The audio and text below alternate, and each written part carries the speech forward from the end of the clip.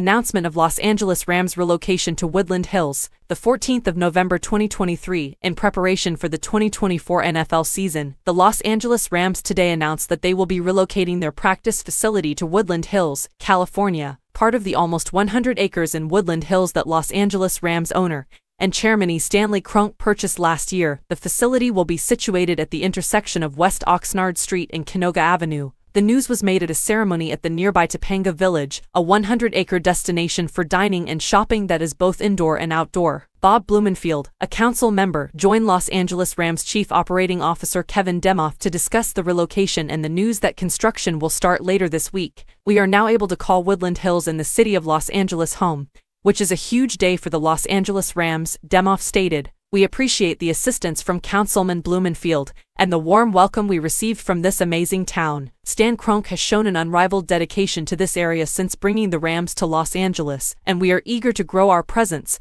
and intensify our influence throughout the city. The celebration marked the end of the Rams Community Blitz Day of Service in Woodland Hills, which also included military appreciation activities at two nearby schools, Calabash Charter Academy and Woodlake Elementary Community Charter, and stops at the West Valley Food Pantry. As part of the team's yearly Salute to Service Week, Rams players Rob Havenstein, Ernest Jones, Larrell Murchison, Christian Rozeboom, Coleman Shelton, Jonah Williams, Kyren Williams, and Russ Yeast joined Rams cheerleaders and Rampage at these events events to support the Rams' new home and pay tribute to the armed forces. In addition, to welcome their hometown team to the neighborhood, the newest certified hashtag Rams House Blinkies Donuts distributed Rams Donuts. Council member Blumenfield expressed her excitement, saying, I am thrilled that Stan Kroenke and the Los Angeles Rams are investing in our community and calling Woodland Hills home. I look forward to partnering with the Rams and the Kroenke Group as they develop plans for their footprint and investments in Warner Center and deepen their local relationships. The Rams will erect a complex on this property over the course of the next few months, made up of modular trailers that will house locker rooms, media rooms, meal rooms, weight rooms, and training rooms for coaches, players, scouts, and staff the team will practice and train on the two football fields that are next to the trailers. This is the first phase of Kroenke's long-term plan for the property, which is a component of the massive development that the Warner Center 2035 plan envisions for Woodland Hills. Following the establishment of the practice facility, the organization will start looking into a larger development that would house the team's permanent headquarters and practice facility in addition to a plan to include retail, commercial, and residential spaces as well as green areas and other amenities that benefit the community.